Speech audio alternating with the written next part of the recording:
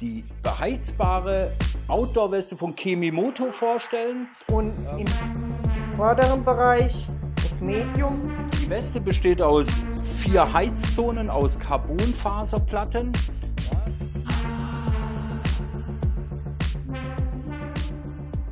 Hallo Leute, hier ist wieder euer Lime and herzlich willkommen zum nächsten Video. Heute wollen wir euch die beheizbare Outdoor-Weste von Kemimoto vorstellen.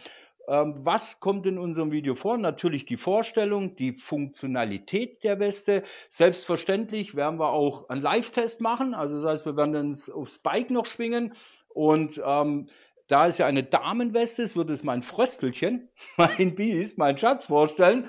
Wir haben uns also für die Damenweste entschieden. Natürlich den Live-Test und in gewohnter Manier selbstverständlich auch die Vor- und Nachteile der Weste. Wenn es Nachteile gibt, wir werden mal schauen und werden die euch dann natürlich zum Schluss vorstellen und auch wie ist denn die Akkulaufzeit? Hier wird dann viel beschrieben, in welcher Stufe welche Akkulaufzeit und all das wollen wir euch in diesem Video zeigen. Wünschen euch viel Spaß und für die Fröstelchen, jetzt beginnen nämlich die Temperaturen ja, so langsam runterzugehen, ab und zu trotzdem noch schönes Wetter, aber halt bloß bei 8, 9 oder 10 Grad oder noch kälter und man möchte vielleicht trotzdem fahren. Wichtig ist, es ist eine Outdoor-Weste, also nicht nur zum Biken geeignet, sondern auch für andere Outdoor-Aktivitäten. Und all das zeigen wir euch in diesem Video. Viel Spaß! Schauen wir uns mal den Lieferumfang an. Klar, die Weste an sich. Dann habe ich noch ein Handbuch dabei. Ich habe noch eine Powerbank mit 10.000 mAh Leistung.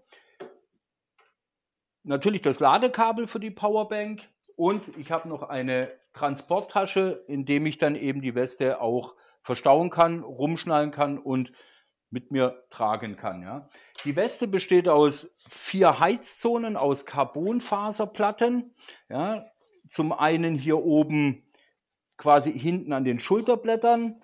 Ja, dann sieht man eben hier im Rückenbereich, hier unten an den Nieren, dann eben vorne das ist die zweite Zone hier auch für den Bauchbereich, klar, wenn ich sie zumache. Und hier oben im Kragen. Natürlich super klasse. Aufgeteilt oder beziehungsweise die Abstufungen der verschiedenen Heizzonen. Wir haben den Hot-Bereich, der soll zwischen 55 und 65 Grad heiß werden oder warm werden und soll so drei bis vier Stunden die Akkulaufzeit sein. Der mittlere Bereich, also der Mittelbereich, der blaue Bereich geht dann eben Akkulaufzeit von 5 bis 6 Stunden und soll zwischen 50 und 55 Grad warm werden. Und der niedrigste Bereich ist der grüne Bereich. Der soll die Akkulaufzeit 6 bis 8 Stunden sein und die Temperatur zwischen 40 und 50 Grad. Ja. Natürlich können wir das nicht messen. Ja, wir haben jetzt kein Messe, äh, Messgerät, wo wir die Wärme messen können. Aber Beast wird es dann natürlich live auch vorführen, wie weit die, also die Wärme, die unterschiedliche Wärme dann auch eben spürbar ist. Ja, was ich auch total schick finde, ist das eingearbeitete, der eingearbeitete Stretch-Bereich. Das heißt, die Weste dehnt sich noch richtig schön. Auch die Verarbeitung der Weste sieht auf den ersten Blick jetzt auch sehr, sehr gut aus. Schön verarbeitet. Hier haben wir dann noch die Tasche für die Powerbank. Da kommen wir aber gleich zu, wenn wir zur Funktionalität kommen. Da ist dann auch der Anschluss dran. Und das werden wir euch jetzt dann zeigen, wie funktioniert dann die Weste überhaupt? Welche Funktionalität habe ich? Was kann ich unterschiedlich einstellen? Seid gespannt. Also, ich freue mich drauf, dass ich die testen kann, weil gerade weil ich so verfroren bin, habe ich von Baba, Baba, wäre vielleicht auch was für dich, wir testen's. So, wir haben jetzt schon mal die Powerbank verbunden. Cool ist, die hat eine Akkuanzeige. Zeige mal kurz. Die hatte Gewicht von 164 Gramm, die Powerbank. Das merkt man natürlich schon. Klar. Zu. Machen wir die Jacke mal zu. Das finde ich natürlich, ja, Das finde ich natürlich toll, dass die bis ganz oben hin zugeht. Das heißt, auch der Halsbereich ist komplett geschützt. Super. Was noch cool ist, in der Bedienungsanleitung ist ein QR-Code drin. Da kann man sich die App aufs Handy laden, geht bei Apple und bei Android und kann die Weste auch über das Smartphone steuern. Jetzt schalten wir es mal so an, zwei Sekunden drücken. Heizweste ist an. Momentan Standardeinstellung, alles auf High. Huh, für kühle Tage. Jetzt kann man sagen, das war Rückenbereich. Da will ich es High haben. Im Nacken möchte ich es eher auf grün, grün war. Low. Low. Und im vorderen Bereich auf Medium. Jetzt haben wir vier Heizzonen. Also hier die Rückenpartie, Schulterpartie, Nacken und Bauchbereich. Steuern kann man aber nur drei, weil Rücken und Schulter hängt natürlich in einem Point zusammen. Jetzt haben wir das Ganze schon mal aufs Handy raufgeladen. Das sind auch die Einstellungen, die ich hier vorgenommen habe. Ich kann natürlich rein nur über die Handysteuerung sagen, oh, ich möchte jetzt aber im Nackenbereich auf Medium haben und dann schalte das auch hier auf Medium um.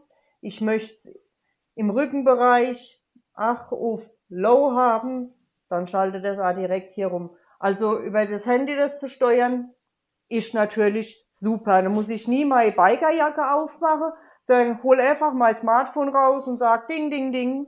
Kann das Licht darüber an- und ausschalten. Ist Licht aus. Kann es wieder anmachen. Und ich kann natürlich auch die ganze Weste damit ausschalten. Wenn ich jetzt hier drauf gehe, ist die Heizfunktion beendet. Weste ist aus. Alles normal. Jetzt würde ich sagen, wir testen die Heizwäsche einfach mal aus. Kalt genug ist sie mit 11 Grad, also mir ist schon kühl. Ich bin froh, dass ich sie hab. Dann testen wir mal, hält der Akku wirklich, ähm, wenn ich es auf High-Betrieb habe, diese drei bis vier Stunden. Oder auf Medium die, was war's, vier bis sechs Stunden und auf Low sechs bis acht Stunden. Wir machen für jede Heizstufe den Härtetest, ob der Akku so lange hält. Also Spatz würde ich sagen, Gehen wir Los, auf die Straße. gehen wir auf die Straße, testen's aus. So, dann würde ich sagen, wir gehen in den Live-Test. Wir fangen mit Stufe 1 an. Low. Machen wir gleich mal überall auf grün. Was ich natürlich oben noch vergessen habe zu sagen, man kann auch bestimmte Regionen komplett ausschalten, indem man länger drauf bleibt. Dann ist die Partie, das ist in dem Fall Bauchpartie, komplett ausgeschaltet. Jetzt würde sie nur im Rücken und am Nacken heizen. Und jetzt sage ich, starte mal. So, jetzt haben wir ja die Weste auf Low eingestellt, auf den grünen Bereich. Nach den ersten Meter kann man zumindest sagen, die Rückenpartie wird auch durch das, dass der Rückenprotektor drauf drückt, gut gewärmt. Im Nacken merke ich es, wenn ich den Kopf leicht nach hinten ein bisschen ähm, drücke, dass der Nacken gewärmt wird. Im Bauchbereich merke ich es weniger, aber im Allgemeinen ist mir es jetzt echt nicht kühl, sondern warm. Jetzt fahren wir einfach mal ein bisschen schneller und gucken mal, wie so das ist, wenn der Wind jetzt noch mit auf die ganzen Gegebenheiten wirken. So. Wind merkt man überhaupt gar nicht. Bei meiner Jacke mit Innenfutter ist es so, dass im Reißverschlussbereich das Futter nicht, nicht durchgehend ist. Da ist natürlich ein klarer Vorteil von der Weste, dass die komplett zu ist. Das heißt, ich spüre nicht mal im vorderen Bereich irgendwie, dass da Kälte, Wind durchkommt. Also bis jetzt Heizstufe Low, nicht so schlecht. Dann würde ich sagen, testen wir mal Medium. Jetzt haben wir es auf dreimal blau eingestellt. Medium. Jetzt schauen wir mal, wie es jetzt ist. Auf geht's zum Vortest. Definitiv wird es direkt heißer im Rückenbereich. Wow! Man könnte schon direkt meinen, es ist auf Rot gestellt. Also momentan will ich mir es gerade gar nicht ausmalen, wie es jetzt halt auf Rot ist. Also das ist schon ein mega Unterschied zu zu diesem Low. Also das Medium merkst du direkt und wir haben jetzt eine Außentemperatur von 13 Grad. Klar, jetzt kommt die Sonne ein bisschen raus, aber trotzdem merkt man ja einfach diese Heizeinsätze. Rücken wird gut warm, im Nacken merke ich es auch deutlich mehr wie in der Low-Stufe.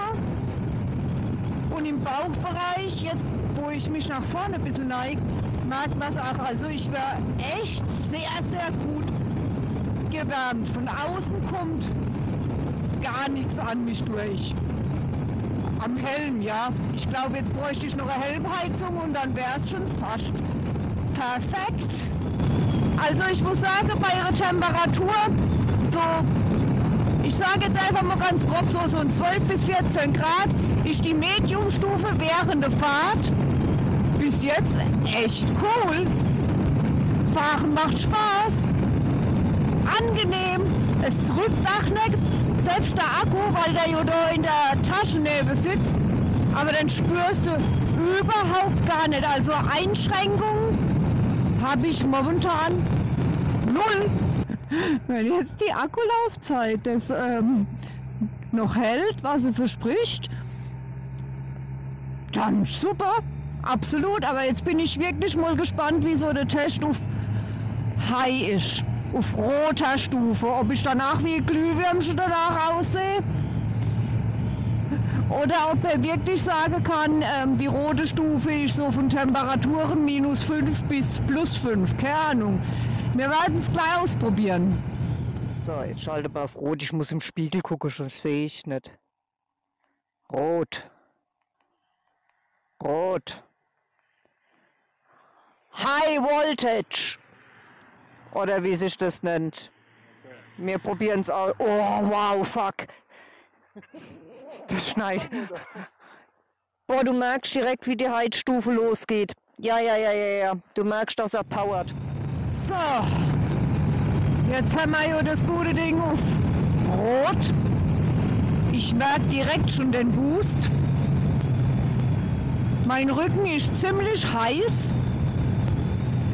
Im Nacken, muss ich sagen, während der Fahrt jetzt hat, sehr angenehm. Ich glaube, im Nacken würde ich es definitiv auf Rot lassen. Also bis jetzt fühlt sich im Nacken richtig cool an. Im Bauchbereich geht es auch, weil wahrscheinlich die Jacke nicht ganz so dicht anliegt wie am Rücken. Also am Rücken ist richtig rangepresst durch den Rückenprotektor Alterlich, ich kann ja sagen, das ist eine Wärmeentwicklung. Wow! Also wenn ich jetzt halt mir das persönlich auf meine Bedürfnisse einstellen könnte, würde ich der Nacken auf Rot lassen, weil das tut gerade echt richtig gut. Wie so ein Wohlfühlsalon fühlt sich's an.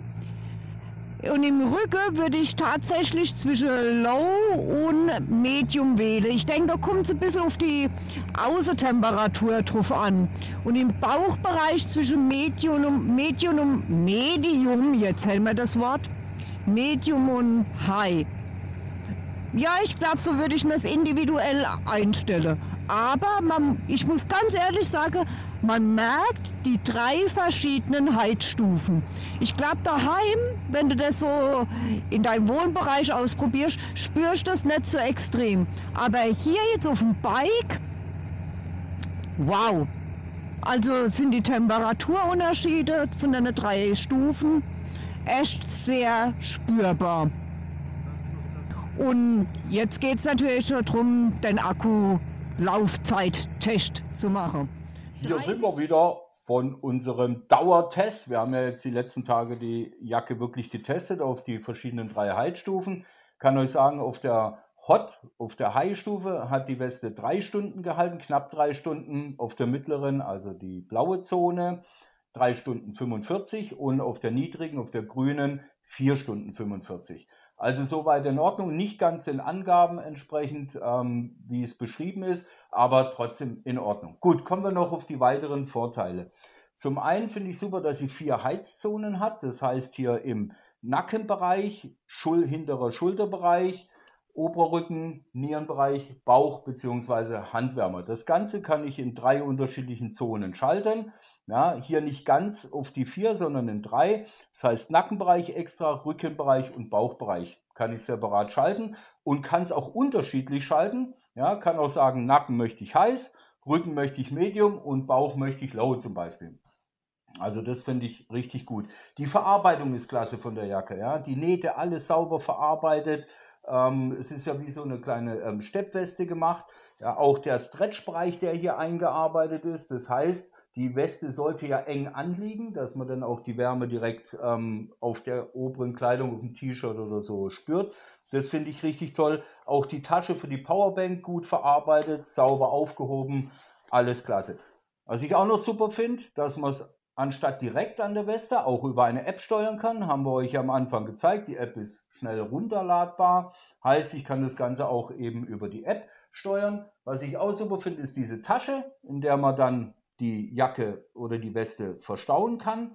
Und das zeigen wir euch dann noch zum Schluss, wie schnell das geht und verstaut ist. Dann kann man sich das auch noch umbinden. Also richtig klasse, super. Also das sind auf jeden Fall mal die Vorteile und Nachteile kommen wir gleich noch. Gibt es nicht viel, kann ich gleich sagen. Gut, aber jetzt zu Beast. Wie hat sie sich denn getragen oder tragen lassen, die Weste? Sehr gut. Leicht, wirklich leicht. Man spürt sie kaum, wenn man sie ohne drunter trägt. Ganz toll finde ich den Armausschnitt, weil dann doch die Bewegungsfreiheit gegeben ist, auch unter der Bikerjacke, was da extrem wichtig ist.